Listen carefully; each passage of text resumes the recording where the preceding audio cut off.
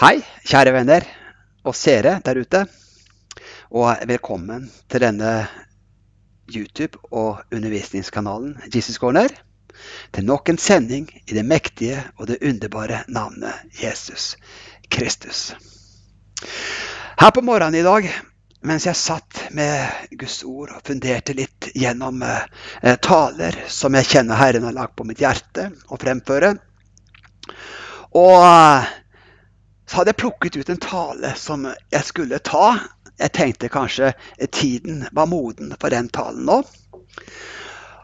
Og mens jeg satt der og skulle forberede meg, så kommer Den hellige ånd, som så mange ganger før, med et annet budskap enn det som jeg tenkte jeg skulle fremføre. Og da får en bare flyte med denne strømmen av dette budskapet som Guds ånd legger på oss. For det er så viktig, venner, at vi er drevet av Ånden. For så mange som er drevet av Guds ånd, de er Guds barn, sier Romerbrevet 8. Vi trenger å være i den flyten som Gud gir oss. Slik at eh, vårt hjerte og vår ånd kan være åpen for de impulser som Den hellige ånd gir oss. Når vi er der, og når vi er lydhøre for dette, da får vi også frukter av det som vi gjør. Halleluja.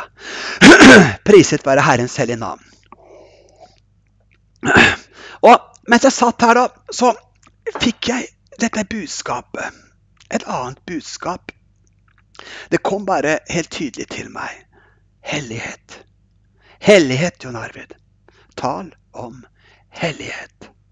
Halleluja. Og mens en ser og kjenner på dette nærværet og dette ordet som blir lagt inn i hjertet, så får en også et bilde opp av det som ligger foran. Slik fungerer iallfall Den hellige ånd hos meg. Jeg ser inn i et bilde som et lerret av hva Gud ønsker å vise og formidle i det budskapet som Han har lagt på våre hjerter. Priset være Gud og lammet. Hellighet, det er et begrep som burde være mer aktuelt enn noen gang. Når vi ser på denne verdenen hvor vi lever i, hvor tilbudene står i kø, de florerer. Tilbud som fører kristne, gjenfødte mennesker gjerne bort ifra hellighet. Og her skal vi også være veldig obs, kjære venner, på det som ligger foran oss. Hellighet, din nøkkel til seier, kan vi gjerne kalle denne overskriften da, i det som jeg skal tale om. For visste du at hellighet, det er vår nøkkel til seier? For det er kun gjennom hellighet at vi kan se Gud. Det finnes ingen annen vei med livet i Gud enn gjennom hellighet. Jo da, vi tar imot Jesus. Vi blir frelst, vi blir født på nytt. Og her starter et nytt liv. Etter hvert som noe, noe nytt har kommet til i vår ånd. Og det nye livet, det skal leves i hellighet og tro til Herren Jesus Kristus. Alle andre veier og alle andre lærer og forkynnelse om andre veier i frelsen, det er feil, sier Guds ord. Og hvis det er feil, så er det heller ikke av Gud. Hebrevet 12, 14. Her sier Paulus Jeg sier Paulus, for jeg tror det er Paulus som har skrevet Hebreerbrevet. Hebreerbrevet 12, 14. Jag etter fred med alle mennesker, og etter hellighet. Uten den skal ingen se Herren. En annen oversettelse sier uten helliggjørelse skal ingen se Herren. Men i dag så ser vi mange veier med Herren som ikke samsvarer med Guds ord. Veier som klør mennesker i øret, hvor en da gjerne lever med én fot i verden og én fot i Guds rike. Hvor en lærer at en kan dyrke vennskap med verden og det som er i verden, og denne verdens lyster. Men det er hva Guds ord sier, som skal være drivkraften i vårt liv med Gud. Halleluja. Priset være Herren selv i navn. For eh, lenge siden så tok jeg selv en avgjørelse. Bare et lite vitnesbyrd her, da, før jeg går litt videre her i Skriften. Hvor jeg ville leve et liv for Gud i hellighet. Og dette er en eh, avgjørelse som har kommet prege iallfall mitt liv veldig sterkt. Hvor jeg har fått en dypere innsikt både i Guds ord, en eh, nærmere og dypere kjennskap til min far og min Gud. Hvor jeg virkelig kjenner ham. Halleluja.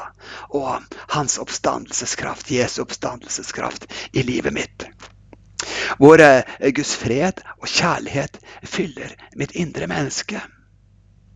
Dere vet at det, når jeg har kjent på dette, så blir alt det andre der ute bare søppel. Det er søppel å sammenligne. Det er urent, mye av det som er i verden. Men det var ikke alltid slik.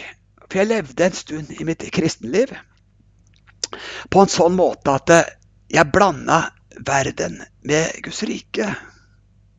Jeg kunne bruke timer i stolen og se på TV-programmer og, og, filmer. Helt til en dag så Den hellige ånd vekket meg opp. Han kom til meg, og han kom til meg med en sorg. Jeg kjente en sorg for det som jeg lot mine øyne skue. Reklame på TV, pervers vold, urene ting, hor.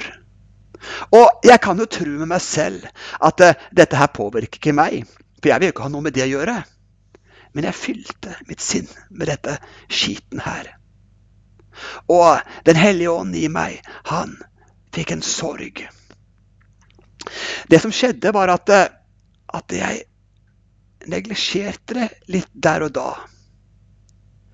Og så kjente jeg at det, dette nærværet det trakk seg litt vekk.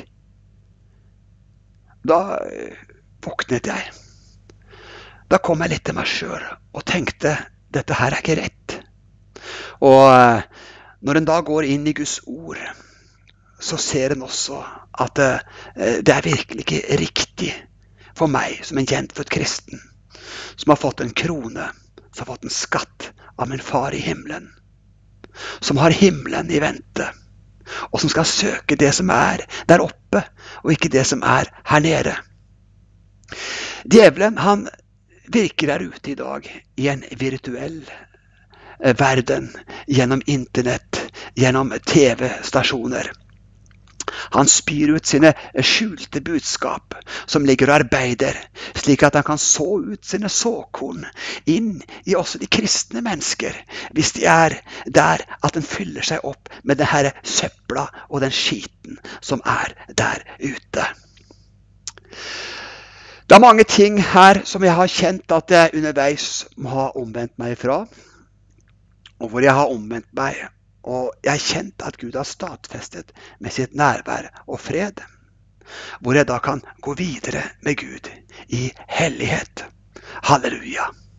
Når vi lever et liv i helliggjørelse, hvor vi atskiller oss fra denne verden og søker Guds rike, så kan Gud betro oss mer. Gud kan ikke betro oss mer enn hva vår karakter kan bære. Og for at vi skal få en karakter som kan bære eh, denne salvelsen som Gud gir oss, så må vi leve et liv i hellighet, kjære venner. Halleluja. Jakobs brev, så står det Og jeg vil peke litt på disse tingene som har med verden å gjøre i denne talen. Eh, hvordan vi da skal kunne eh, atskille oss fra verden og velge et liv med Gud. Halleluja. Vi kan vite dette at hvis vi bruker mer tid på ting som er i verden, foran en TV-skjerm, hva det enn er, foran Internett, eh, foran eh, søken til andre ting, enn det vi gjør i et fellesskap med Gud, i ordet, i bønn, i lovsang, i sang, i våre tanker, så blir ting gjerne til en avgud for oss. Og hvis det er en avgud, så skiller det oss av med dette vidunderlige nærværet som er i Herren.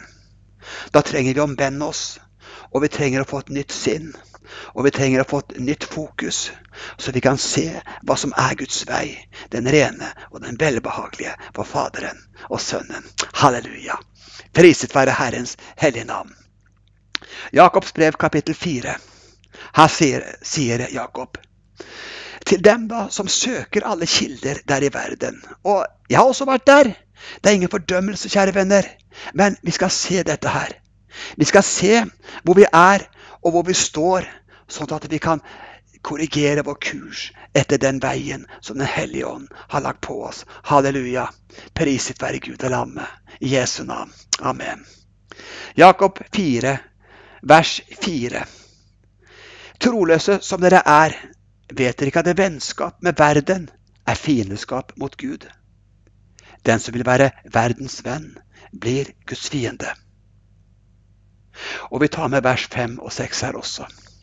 Eller mener dere at det er tomme ord når Skriften sier med nidkjærhet trakter han etter en ånd han har latt bo i oss. Men desto større er nåden han gir. Derfor sier Skriften Gud står de stolte imot, men de ydmyke gir han nåde. Med nidkjærhet trakter Gud etter en ånd han har latt bo i oss. Denne rene, gode, hellige ånd. Denne ånd som er hellig fremfor Gud. Denne ånd som fører oss inn i et liv i hellighet. Fordi Gud er hellig, så skal vi også være hellige. Og for at vi skal være hellige og herliggjort og hellighet i Kristus Jesus, så skal vi også søke etter et liv i denne helligheten. Halleluja. Priset være Herrens hellige navn. Lovet være Gud og lammet. Og det krever av oss i troen at vi fremstiller oss selv fremfor Gud som noen som holder prøve med oss selv. For vi skal holde prøve med oss selv, og vi skal kjenne eh, den veien som ligger foran oss. Vi har en vidunderlig frihet i Jesus Kristus. En frihet som eh, kjennes som ingenting annet. Halleluja. Og vi har en glede, og vi har en fred i Gud. Men i denne friheten så skal vi ikke gjøre Den hellige ånds sorg. Vi skal søke Gud i en hellighet, hvor vi da fremstiller oss selv fremfor Gud. Romerbrevet kapittel 12 her sier Paulus og Han taler litt her om eh, de troende, at de er et levende offer for Gud. Jeg ber derfor på det sterkeste søsken, vers 1-2. Jeg ber derfor på det sterkeste søsken ved Guds barmhjertighet at dere fremstiller deres kropper som et levende, hellig og velbehagelig offer for Gud. Dette er deres åndelige Guds tjeneste. Bli ikke dannet lik denne verden, men bli forvandlet ved fornyelsen av deres sinn, så dere kan prøve hva som er Guds gode og velbehagelige og fullkomne vilje. Legg merke til her, venner. Bli ikke dannet lik denne verden, men bli forvandlet ved fornyelsen av deres sinn.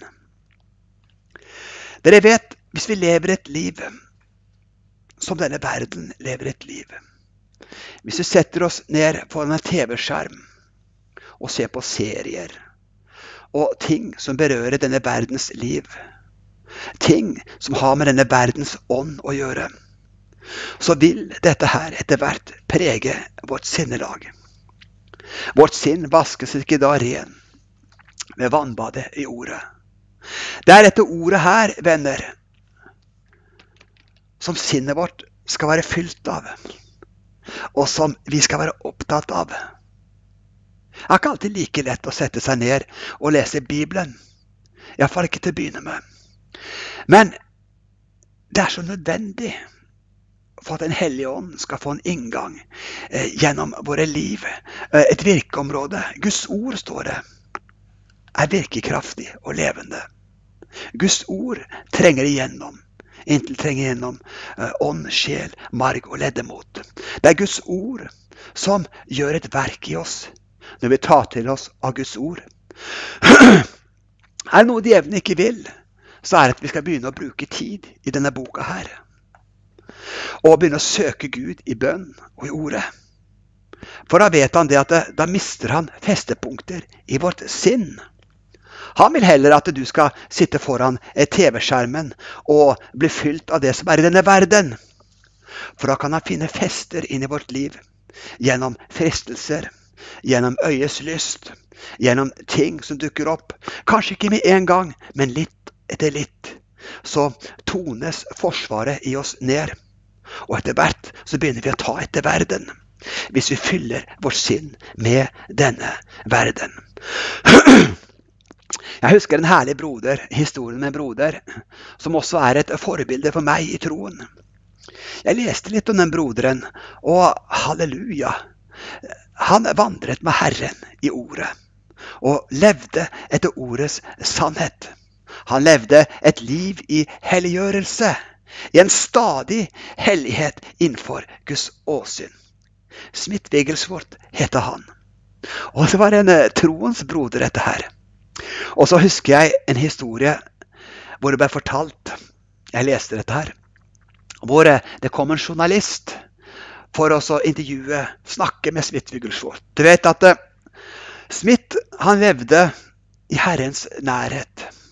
Det skjedde mektige mirakler i uh, møtene hans. Og Gud demonstrerte sin kraft gjennom denne mannen som levde et liv i hellighet fremfor hans åsyn i troen. Halleluja. Så kom denne journalisten til han, banket på døren hans. Og han journalisten han sto med en avis under armen. Dette har denne journalisten fortalt uh, i senere tid. Han er jo nå frelst mann som uh, har gått med Herren. Han ble frelst, denne journalisten. Og så står han på døra der med en avis under armen. Og så ser Smith Wigglesworth på han. Ja, du kan komme inn til meg, men du lar det du har under armen, bli igjen på trappa her ute. Halleluja. Det var en inspirasjon for meg. Smith han sa egentlig dette at eh, du som menneske, du er verdifull for Gud. Du kan komme inn, og vi kan prate. Men du lar verden være igjen her ute på trappa. Den får ikke komme inn i mitt hus. Det var egentlig det Smith sa. Verden får ikke komme inn i mitt hus. Denne mannen han levde slik at han fylte ikke sinnet sitt med verdens søppel. Ja, men vi må jo følge med, sier mange da. Følge med på hva? Vi har egentlig hele budskapet her. Vi har åpenbaringsboken. Vi vet hva som skal skje. Nå sier ikke at det er gærent å se litt nyheter en gang iblant. Men det er, det er mengden av det vi fyller oss med, og hva vi fyller oss med. Jeg husker når jeg tok den beslutningen sjøl i mitt hjerte at jeg, jeg skulle slutte å se på TV. Jeg ser litt på TV, jeg ser litt på noen kristne kanaler en gang iblant. Og så, hender det at jeg ser noen nyhetskanaler hvis det er ting jeg vet som kommer der, som jeg kanskje er litt nysgjerrig på. Men jeg prøver å begrense bruken. Jeg har ikke sett en film blant annet, på flere år. Det har jeg ikke. For det er egentlig søppel. Det er forkastelig søppel, rett og slett. Og dette har gjort noe med livet mitt. Halleluja. Noe mektig har gjort med livet mitt. Jeg kjenner jeg har fått tilbake følelser. Jeg har fått tilbake eh, et klarsyn. Når jeg ser noe skittent og urent, så kjenner jeg det vrenger seg inni meg. Fordi det er en renselse å leve i Guds nærhet, i ordet, og atskille seg fra verden. Venner, dette er så viktig at eh, vi får med oss at vi lever et liv i hellighet. Priset være Gud og lammet. Lovet være Gud den allmektige. Vi er himmelske statsborgere. Og vi lever vårt liv fremfor en ren Gud. Halleluja. Og vi skal ikke søke vennskap med verden. En ting er å vinne mennesker i verden, fortelle dem om Jesus. Forteller dem om veien til frelsen gjennom nåden, og at det er en himmel å vinne og et helvete å unnfly. Dette er viktig. Men vi skal ikke ta del med menneskene i denne verdens lyster. Det er to forskjellige ting. Halleluja. Priset være Herrens hellige navn. Jeg vil lese litt til fra Skriften her, i Jesu navn. Bare så vi bygger det som blir sagt, på et fundament i Guds ord. Så for den som vil, gå hjem og selv og studere. og se om det som blir sagt, er riktig. For det er også viktig, venner, at vi hele tiden er i ordet. At vi bygger på det Gud sier i sitt ord. Halleluja. Andre Korinterbrev, kapittel 6. Og jeg vil lese her da fra vers eh, 14 til 18 vil jeg lese i Jesu navn. Priset være Gud. Halleluja. Her står det Dra ikke fremmed åk med vantro. For hvilke fellesskap har rettferdighet med lovløshet?